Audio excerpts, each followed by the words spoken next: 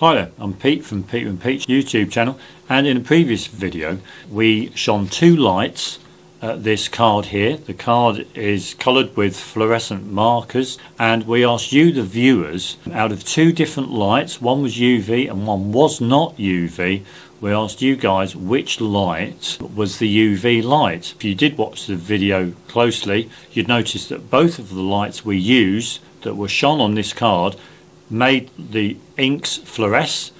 Now after the video was published we had a number of comments and people actually thought that the first light produced more fluorescence was the UV light.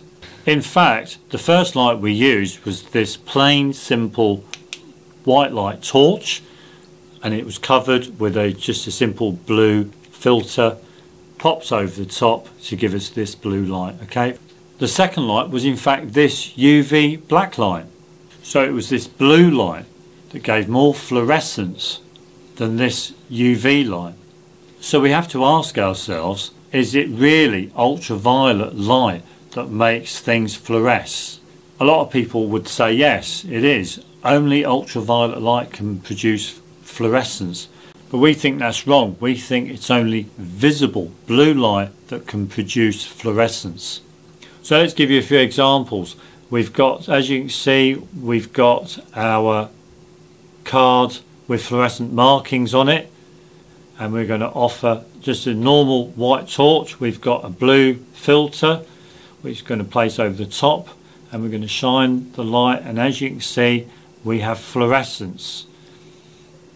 This time we're using a darker blue filter over the top. As you can see, fluorescence is much more pronounced. And finally, we're going to use this mercury vapor lamp to produce visible blue light that will produce the fluorescence that you see there. So from the examples, it's clear that blue light produces fluorescence. So what is it about UV black light that makes objects fluoresce. Well this UV black light contains an LED that has two semiconductors. One is made of sapphire which is blue so essentially this is producing blue light and blue mixed with red for the other semiconductor will produce a violet light. So it's the blue light within ultraviolet light that produces fluorescence. So let us know what you think in a comment below. Do you think ultraviolet light, which is outside of the visible spectrum on the electromagnetic spectrum, and it's this that causes fluorescence? Or do you think like us, and that it's visible blue light that creates fluorescence? So thanks for watching this short video, and we'll see you on the next one.